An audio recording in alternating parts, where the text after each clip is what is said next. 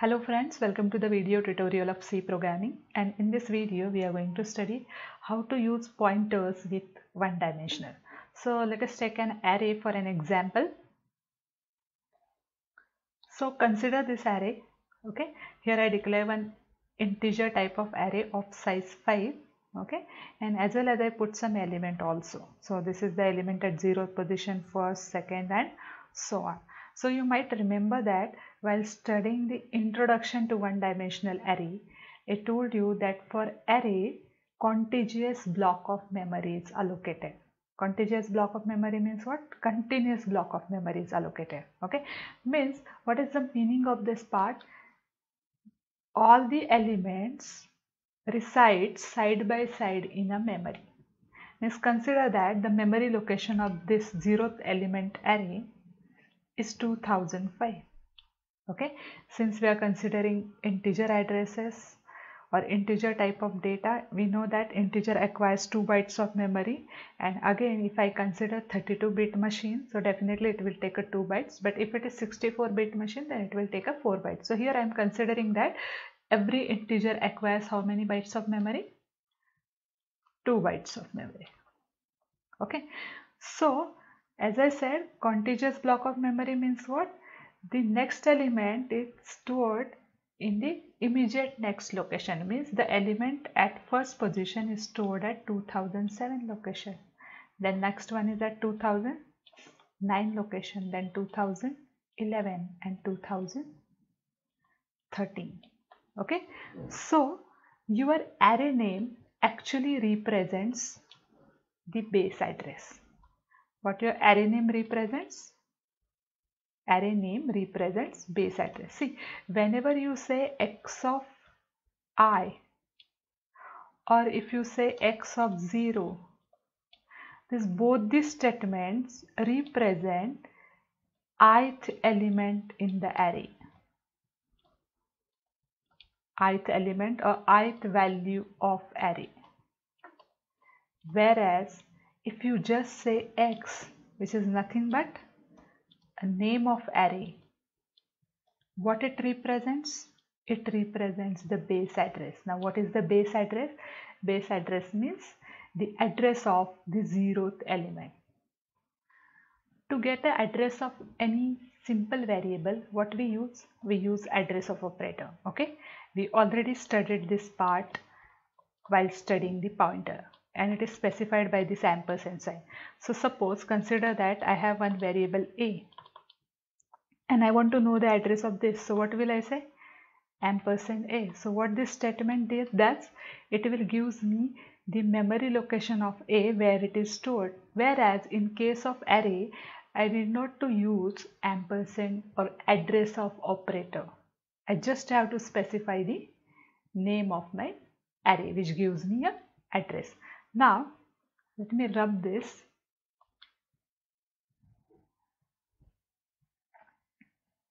Okay. Now, suppose I want to operate my array with a pointer. Okay. So, for that I have to store this address somewhere. Somewhere means what? Definitely in a pointer variable. Okay. Where we can store the address? We know the definition of pointer. What is pointer? Pointer is a variable that stores the address of another variable.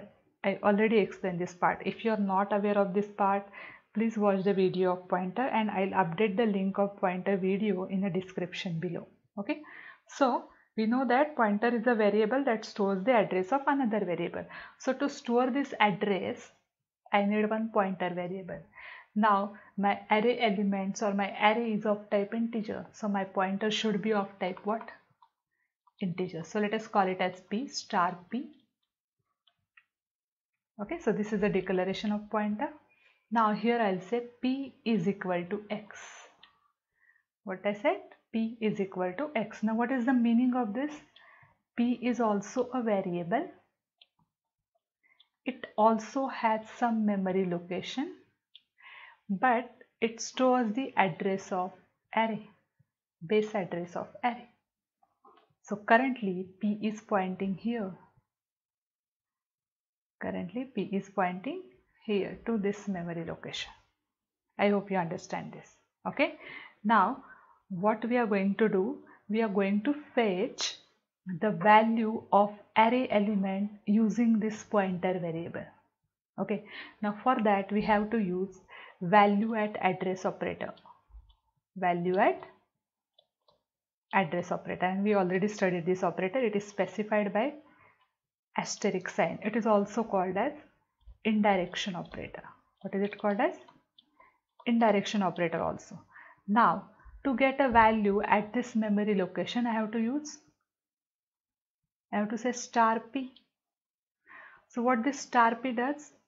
What is p? P is what? 2005 and if I say star of this or asterisk of this what is the meaning of this? Value at address operator. So what is the value at this address? The value at this address is what? 50 so this gives me what? 50 now but we only get the first element of the array right? But suppose I want to get the next element of the array. So what you can do? You can increment your pointer okay? So when you increment it what happens? What is the current value of pointer? What is the current value of p? Current value of p is what? 2005 if i increment it definitely you, you guess the answer that answer is 2006 but remember this thing that we declare our pointer of type what? Integer. Okay? And since integer acquires 2 bytes and if I increment my pointer variable in that case it will increment by 2 in that case it will increment by what? 2 okay? So the new value of my pointer variable is what?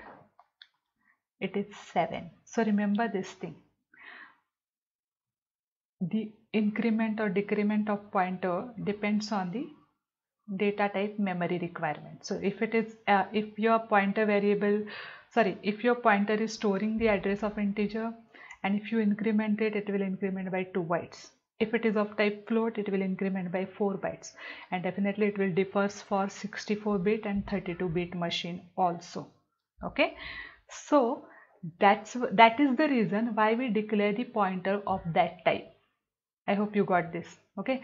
By studying a pointer i just told you that pointer should be of a same type of your variable.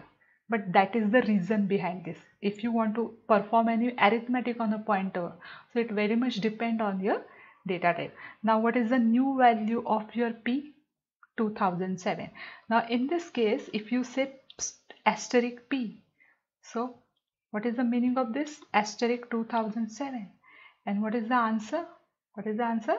Answer is 25 so in this way you can increment the p n times. Okay. Now let us see one more part.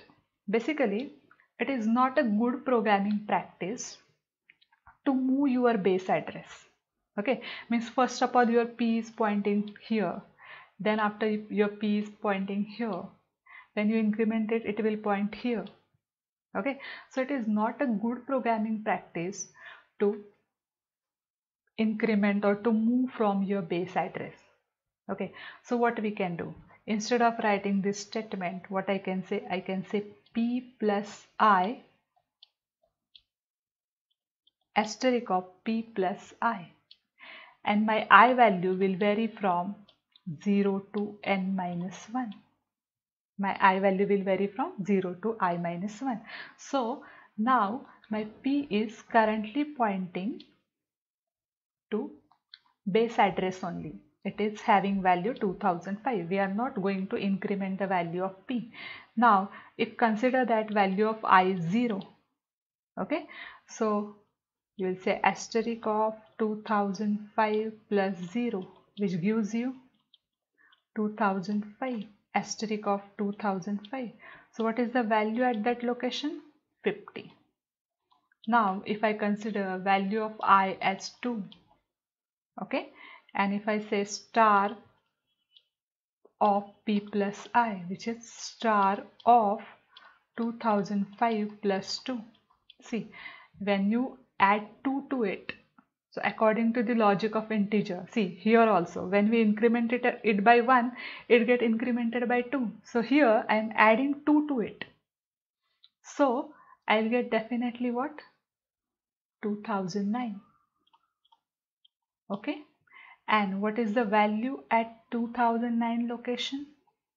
It is 11. It is what? 11. So it is quite easy. Okay. So what we can say let us switch to next page so what we can say if I say P of I it is very much equivalent to asterisk of P plus I which is also equivalent to asterisk of I plus P which is also equivalent to I of P. This statement is also allowed. So all these statements are what? Equivalent. And what this statement gives you? This statement gives you ith element of array.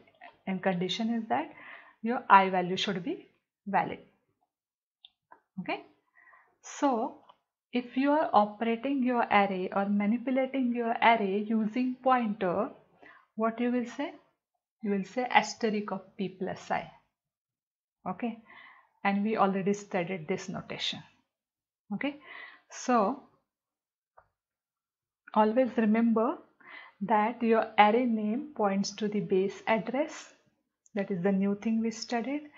And we can directly get the address of array by just specifying its name. We do not have to use address of operator. So this is the statement of assigning the address to your pointer variable. Then we studied one more thing that if you increment the pointer, it increment by your data types requirement. Okay, means if my pointer is of integer type, it will increment by 2 bytes. If my pointer is of type float, it will increment by 4, 4 bytes and so on. Again, we studied one more part. It is not a good programming practice to move your base address because again, if you need it, then uh, and if it is lost, then definitely your all data going to be lost. So it is not a good practice to move your base address. So for that we studied this notation. Okay. So I hope you understand this. In next video we are going to study dynamic memory allocation for one dimensional array. So if you have any doubt definitely you can write it to me. Thank you.